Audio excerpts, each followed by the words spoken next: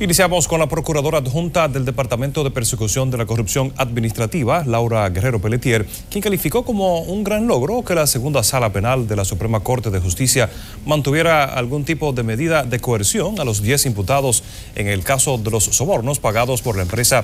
Odebrecht. Guerrero Pelletier resaltó que esas decisiones judiciales se lograron porque el Tribunal de Alzada valoró que los indicios presentados por el Ministerio Público son contundentes, motivo por el cual también negó la solicitud de otorgar la libertad pura y simple a los implicados reclamantes. La titular de la PEPCA destacó que asimismo la segunda sala penal de la Suprema Corte de Justicia rechazó todas las objeciones presentadas por los abogados defensores de los involucrados contra las diligencias investigativas realizadas, incluyendo la petición de que fueran declarados ilegales los arrestos efectuados el pasado 29 de mayo.